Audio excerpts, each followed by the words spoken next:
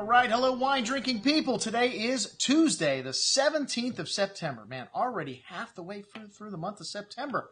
Whew.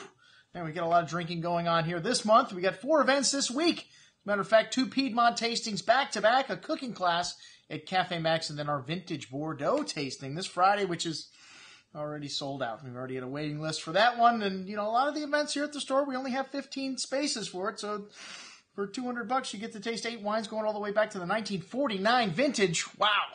How do we do it?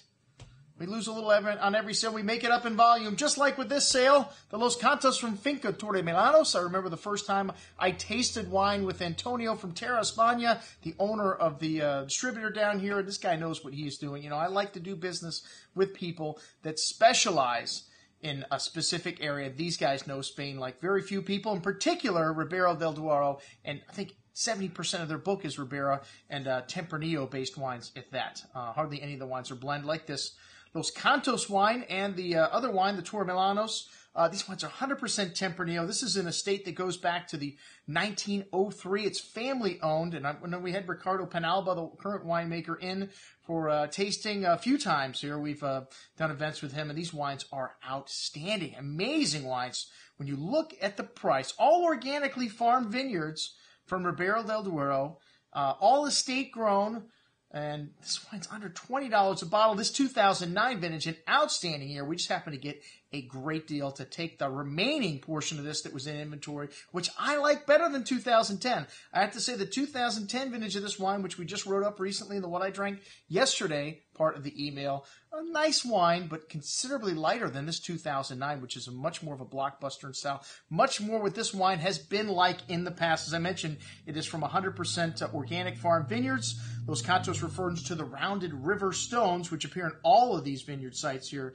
And um, there's five different parcels that contribute to this wine. And even though it's only one grape, the different vineyard sites add complexity to this wine. It sees uh, 35% new French oak and uh, this wine is a real crowd pleaser, man. Look at the color on this very dark colored wine with dark cherry and blackberry liqueur like fruit combined with a host of spices, some lovely toasty oak notes, some brown spices, some clove, some cinnamon in there from the oak, and then big and juicy on the tongue with a host of that dark berry fruit and that spice and really ripe and round tannins. This wine's got sweet tobacco in it and fresh earth and a firm hand of acidity holding everything together. This wine really nice little wine. You know, norm, our normal price on it, twenty two fifty.